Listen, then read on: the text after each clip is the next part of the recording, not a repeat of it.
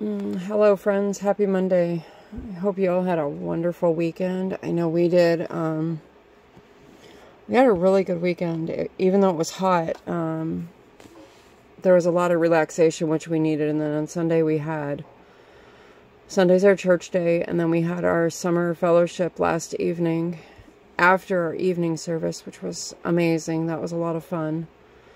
Um, and then next week is our VBS Vacation Bible School. So I don't know what my video schedule is looking like for that. I may only get one video out just because it is um, for the five days next week. So I will be occupied with that.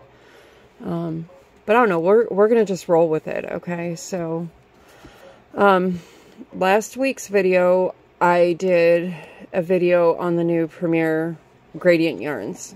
And if you remember in that video, I said something about, oh, my order wasn't there.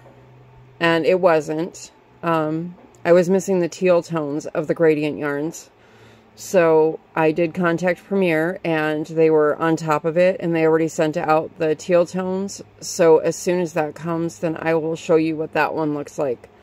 Um, but today's video is going to be kind of short just because I'm going to try and get a few videos recorded today so I can put them out throughout the week because last week when I was talking about what videos I wanted to do for this week, I completely forgot that it is 4th of July week, so everybody's work schedules are different this week, um, and I want to have as much family time as I can, so I'm going to record this video and get this one out for today, which is Monday, July 1st already. We are seven months into the year. Wow. Wow, wow, wow. I don't know where this year has gone, friends. Um, so anyways, I'm going to put this video out that I'm recording right now. I'll record another one on just a random yarn haul from different places. And then I will go from there on what else I'm going to record for this week. I'm kind of just, right now, honestly, I'm flying by the seat of my pants on this. So, um, so the reason I'm sitting here holding the anti-pilling everyday worsted gradient yarn is because I'm going to use this for today's demonstration purposes. And this one, again, is a medium 4. This is the pink tones. So what I'm going to do with this is I just want to work it up a little bit. I want to see how well it works up. I have my uh, five and a half millimeter clover hook here. Doesn't want to, there we go. So I'm going to use this. And then I'm also going to show you, um, I just want to see how this one works up being an anti-pilling. I'm working with an, another anti-pilling right now that I absolutely love. And bear with me, I'm not used to doing this on camera. So I just put a slip knot on my hook right now and I'm going to go ahead and just chain. I'm trying to look at my camera and at my project at the same time, so if this looks kind of clunky, I'm not used to this. Um, so what I'm doing is I'm going to do a chain of 20. So here's one, two, three, four, five, six. The one on the hook does not count. Seven, eight, 9, 10, 11, wait, I just lost count. Like I said, I'm not used to doing this on camera. This is all new to me, so please be kind and bear with me. So let's go. One, two, three, four, five, six, seven, eight, nine, ten, eleven, twelve, thirteen. 14, 15, 16, 17, 18, 19, and 20. So now what I wanted to do here is remember in that crochet book I was showing you on some of the patterns, it says to chain like 20 plus 2. So we have our chain of 20, right? Then you would just add 1, 2 for that plus 2 at the end. So you would chain your 20 and then add two more chains.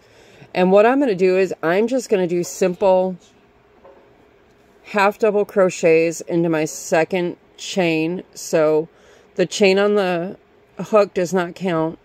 So we're going to go one, two. Sorry if my fingers are in the way. So let me start that again. The chain on the hook does not count. So we're going to go one, two, and we're going to just do a double crochet into that second chain. And I will get better at this as I'm going. And a double crochet, you can do a double crochet or a half double. I just totally messed up because I am a little nervous doing this. Bear with me. I know we shouldn't be nervous, right? We should just roll with it.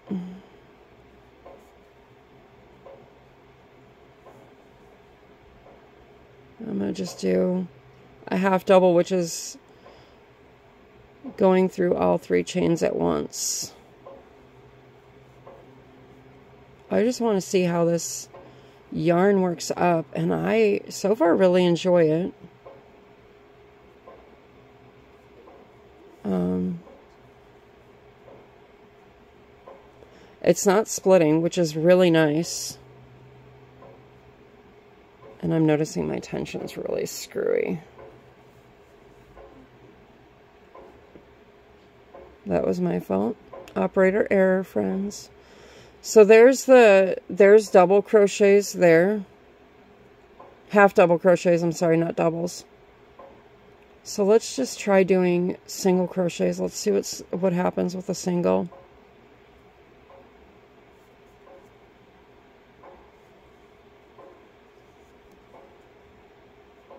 Yeah, just as good. No splitting. actually find it easier to work a single crochet, which single crochets are not my favorite at all. I prefer um, double crochets, that's just me. So let's try a double crochet. Let's see how well it will do with a double. Go through two, go through two more. So, so this is how this is working up. We have our half doubles, our singles, and then our doubles. So let's do my all-time least favorite, which is a treble. Oops, I forgot with the treble, you gotta yarn over twice. Pull up a loop, go through two. I think that's the trouble. I never do troubles, but so I like how this is working up. I'm going to be curious to know, working all the way through this though, how the colors are going to flow from the pink, the light pink to the darker to the really, really dark here. If you knit it, this is how it's supposed to look, apparently. But as you see, I'm crocheting. And it probably just all depends on if you're going to, what stitch you're going to use, because there are other stitches that you can use. Um, I'm going to just jump over. I want to do something, check something really quick on this. I'm going to just do like a basic fan shell using double crochets. I'm just curious how that would look too with this pink. I'm just, I'm basically just going to not do a full fan. I'm just going to do, do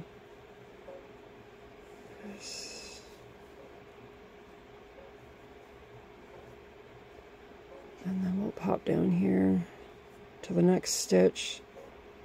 And I will do a single crochet to seal that one off. So there's that. I think that actually looks pretty nice. So, yeah, I don't know what kind of shape I just made doing all this, but I like the way this is working up. It's definitely not splitting using this hook. Um, I do have a feeling if you use like a Susan Bates hook or something, it might, but this one, it's definitely not splitting. It's pretty soft. Um, again, this is the Premier Anti-Pilling Everyday Worsted Gradient. 360 yards, 330 meters, 7 ounces, 200 grams. It is 100% anti-pilling acrylic. It's a medium 4, 5 millimeter knitting needle, and a 5.5 millimeter crochet hook. Tested and approved against 350 plus harmful substances. Machine wash, warm, tumble dry. I would assume is probably low. And again, this one is in pink tones. So, again, I am in no way affiliated with Premier. I just absolutely love their yarns, love their products. Their customer service is fantastic. Um, but there you have it. Just a mixture of all different stitches. You know, and this is just your basic stitches. There's so many others out there that you could do this with. You could do this with a granny stitch, um, seed stitch, you name it. It's, it's all out there. So, anyways, friends, I'm going to go ahead and get off of here. Um, but I just wanted to show you this, like with the chaining, when you're chaining, like example, the chaining of 20, you would add the two, or if your pattern says chain 10, add three then you would chain your 10 and then add 3 at the end. So this was kind of a two for one video where I wanted to try out the new Premier yarns as well as um, showing you just what that means on the when you see that on a pattern. So I hope this was helpful for you friends, but for now I'm going to get off of here. I want to get another video recorded and then I have a ton of stuff that needs to get done around my apartment. Um, I want to do it before the heat wave hits. So, with that said, friends, be kind, be blessed. I love you all, and I will see you in the next one. Bye.